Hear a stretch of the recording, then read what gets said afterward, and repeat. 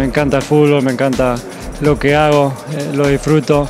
Nuevo récord de Leo Messi tras finalizar el partido en Arabia Saudí. Una locura, la verdad que sí que... Y además veremos una anécdota del argentino con Neymar que te va a sorprender. Con Ney tengo una relación de, de hace tiempo.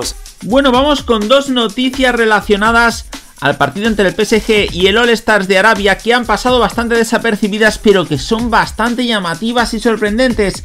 La primera se refiere a Leo Messi y la indumentaria nueva que sacó el PSG en dicho partido y es que tras finalizar el partido se llevó a cabo una subasta en concreto de la camiseta que llevó Leo Messi en los 60 minutos que estuvo el argentino en el terreno de juego y es que a través de la web oficial del Paris Saint Germain se dieron a conocer los detalles para la gente interesada en adquirir dicha camiseta que formó parte de este histórico duelo que hubo entre Paris Saint Germain y el All Stars liderado por Cristiano Ronaldo en cuestión de horas. Ojo al dato, en unas horas la camiseta de Messi, campeón del mundo, alcanzó pujas que nadie hubiera dicho antes de empezar la subasta.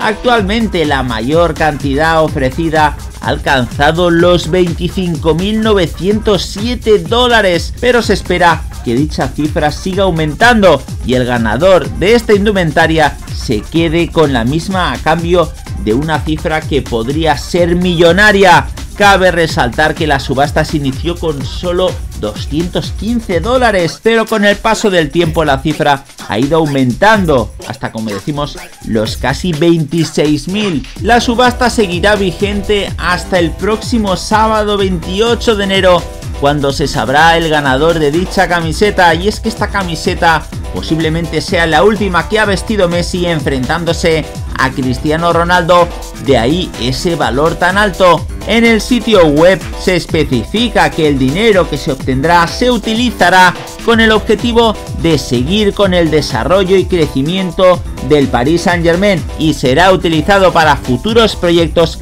aunque no se especifican cuáles son. Y para acabar vamos con otra anécdota que hubo en el partido con Leo Messi y Neymar como protagonistas y es que el VAR señaló un penalti sobre el propio Neymar después de que el colegiado del encuentro lo pasara por alto y nada más coger el balón el brasileño lo primero que hizo fue consultarlo con su amigo Leo Messi. El ex del Barcelona agarró el balón con las manos, miraba a Messi ofreciéndole lanzarlo y el argentino simplemente con un leve giro de cabeza le dio su consentimiento para lanzar el penalti.